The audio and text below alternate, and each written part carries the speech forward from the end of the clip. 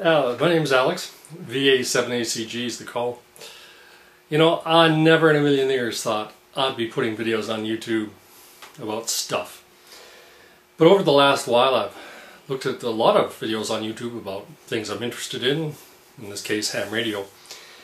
And you know, it's an excellent forum for, for blogging about various things. Anyway, here's the first edition of what I, a little ditty I'd like to call Bollocks any of you with a British background or like Gordon Ramsay or look it up, B-O-L-L-O-C-K-S, uh, it's bullshit basically. you know, it never fails to amaze me. I bought uh, a beam, a tri-band or beam antenna uh, a few months ago and I finally got to the stage of getting it put up. You all know what that's about. It takes a while to get there.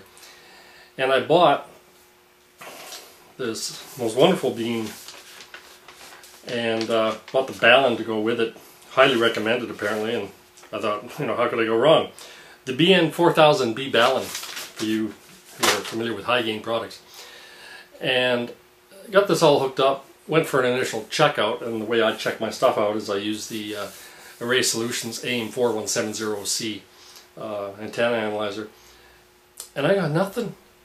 And I thought, what the heck's going on here? You're tired, check your stuff, check your connections nothing a problem.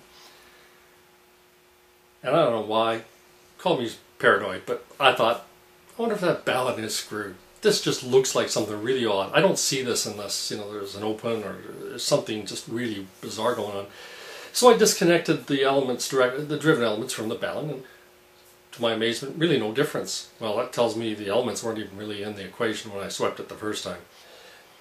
And you know, 109 bucks later, and uh, being told your warranty, uh, well, hell, you've had the thing sitting around for so long, how do we know you didn't screw it up? Whatever, whatever. $109 later, I thought, well, I guess I better uh, choose another Balun to use, but hey, I couldn't find the answer anywhere on the web, and I usually can see something on the web about people that have had problems before. Well, somebody did say they had a little oddity about this directions that come with the Balun, saying, oh, by the way, if you get no continuity it's open between the appropriate connections of the Balun, oh, that's normal. Say what? How's that work? Well, maybe there's physics class I missed. But nonetheless, I spent my $109 and took this baby apart. And what do we find? You got it. What do you think? A broken wire. In assembly, and no doubt with all the gunk they stick in this damn thing, not hard for them to break a wire. That's all that was wrong with it. It's going in the garbage, of course. But for my $109, now you all know, no, there's got to be continuity. And the other thing that's kind of bizarre is they have this little 9-inch piece of wire that terminates into nowhere. I'll bring this up real close so you can have a good look at it, I hope. But there's this wire that goes to these terminals for the driven elements, but it's dead-ended. It's some sort of resonance thing, I suppose.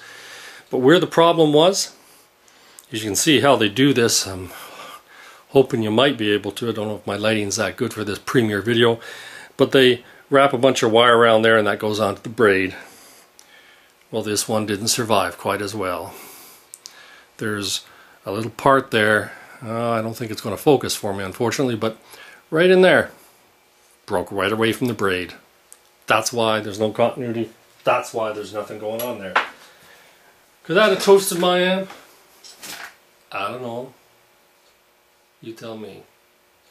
But I won't be buying any Hy-Gain products. Not like this.